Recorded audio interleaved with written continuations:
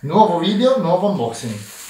E vediamo cosa abbiamo ordinato per il Museo Ferroviario di Suno. Allora, i pacchi sono molto simili, quindi potrete già immaginare a quelli dei video precedenti.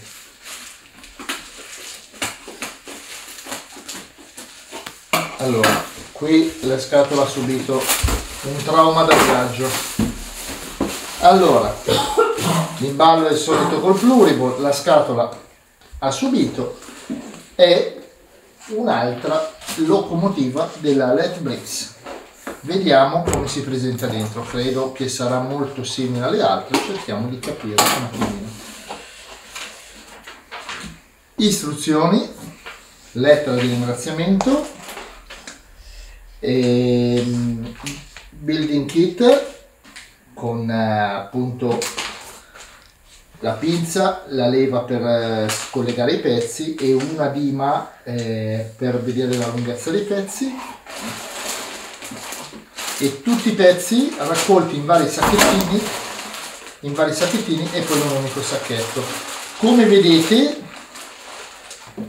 è un modello statico non motorizzato non escludiamo domani di motorizzarlo ne faremo dei video man mano che lo montiamo e scoprirete solo alla fine di questo video che modello di locomotiva è. A dopo!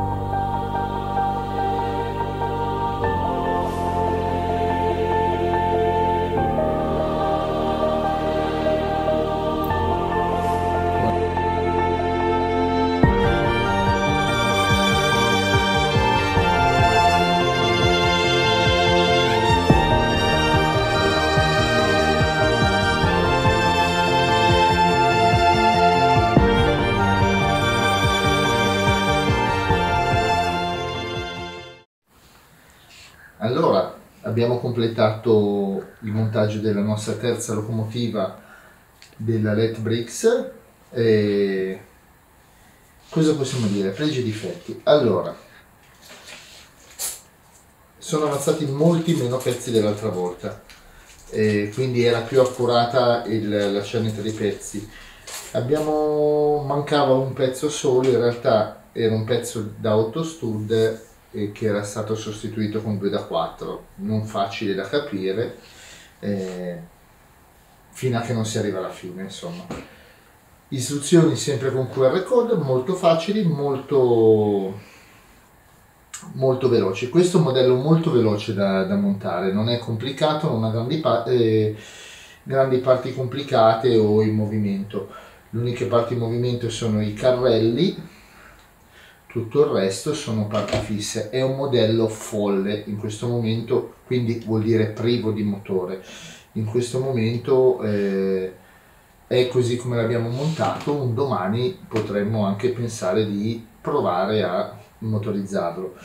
E cosa ci è piaciuto? Ci, ci piace molto il colore e un bel verde, le righe blu, insomma rispecchia quello che è il modello della realtà, che è una delle macchine, anzi forse la macchina più comune in questo momento anche sulle nostre ferrovie italiane.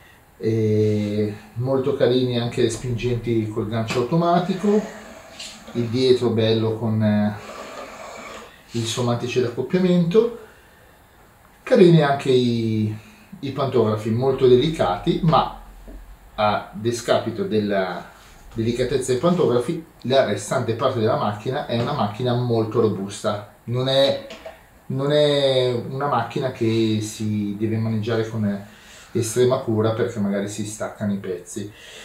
L'unico difetto è che differenti eh, pezzi, cioè forme, ad esempio questa parte liscia rispetto a questa qui inclinata, hanno leggerissime tonalità di verde differente. Questo è un po' più lucido, un po' più chiaro, queste sono leggermente più scuro, però diciamo che è una cosa non eccessiva, eccessivamente percettibile. Nell'insieme è una macchina molto bella, molto facile da montare. Io consiglio questa macchina se uno si avvicina a, al montaggio dei, dei treni tipo Lego, diciamo tipo perché come abbiamo già detto all'inizio la marca Netflix, totalmente compatibile con i pezzi Lego,